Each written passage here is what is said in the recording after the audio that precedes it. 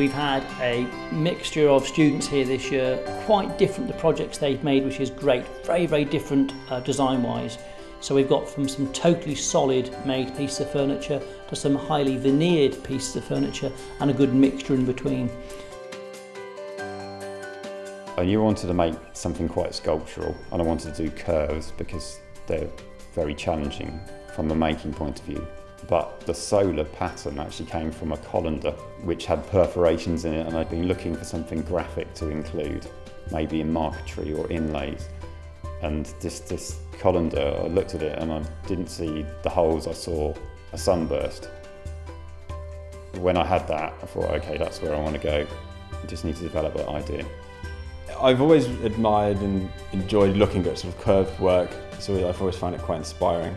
Um, so I, I wanted do something curve related. It was the part of the course I'd enjoyed the most as well. I wanted a console table in my house and I found the favourite materials throughout the course. I generally enjoyed working with burr and walnut, so it kind of started building from there really.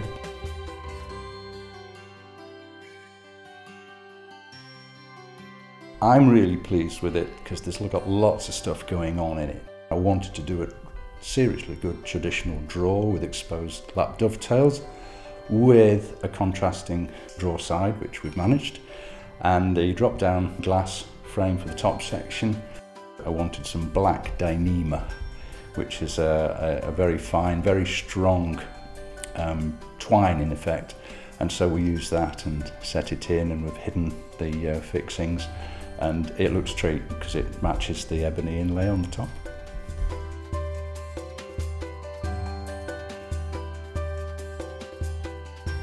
I'd always liked the look of the old style writing desks and I wanted to bring that sort of aspect of design to it, but I wanted to bring it in with a bit more of a modern feel to it. Uh, so using traditional darker woods in the walnut and then I wanted to bring sort of the element of the lighter wood to it.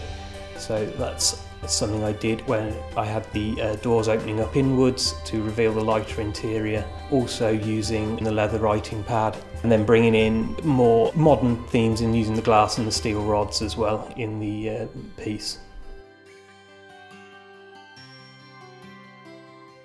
I was inspired by my love for Lego design, so I used the bright colours and the aspect of the Lego brick and incorporated it within the design as a bright and colourful and really contrasting piece. Definitely doing lots of wood turning and lots of physical stuff on the lathe was quite challenging to get everything accurate as possible.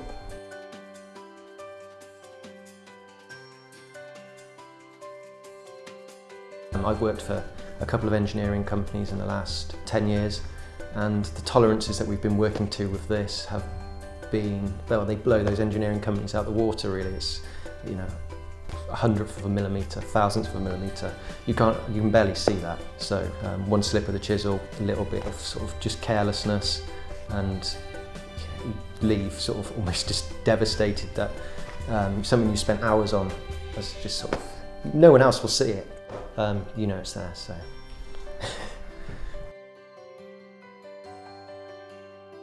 As far as the workmanship goes, they really are all made to exhibition standard, which is what we've been doing. I think they realised from day one that uh, quality is really the main thing that we're looking for. And we have to be very, very accurate. We're working with veneers that start off at 0.6 of a mil thick, so you can't be within two or three millimetres. It's right or it's not right, and that's the accuracy that we're working to.